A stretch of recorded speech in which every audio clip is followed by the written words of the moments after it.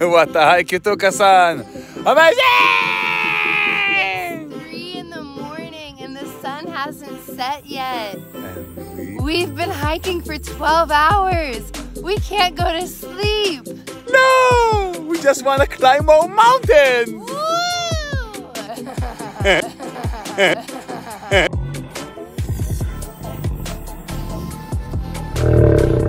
Excuse the craziness, but it's true. We hiked for 12 hours straight.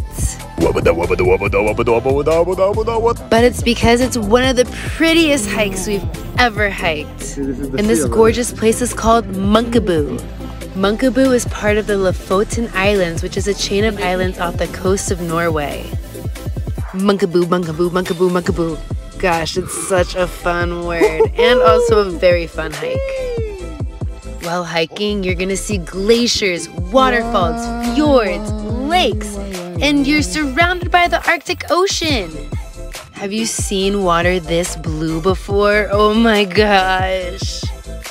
The coolest part of the hike is the amazing phenomena of the midnight sun. In the summer, you can experience the midnight sun, where the sun remains visible for 24 hours a day. Nadar hiking at 1.30 a.m. Yes, you heard me right. This is 1 in the morning. 1.30 in the morning.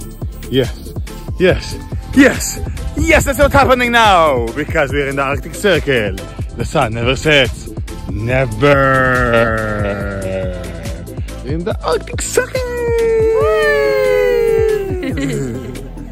And don't be mistaken, just because it's the summer doesn't mean it's so warm.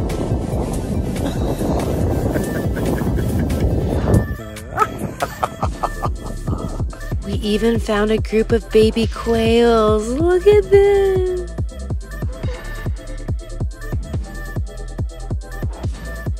And be aware that the beauty is exploding on this hike, so you might get a case of the crazies. Whoa.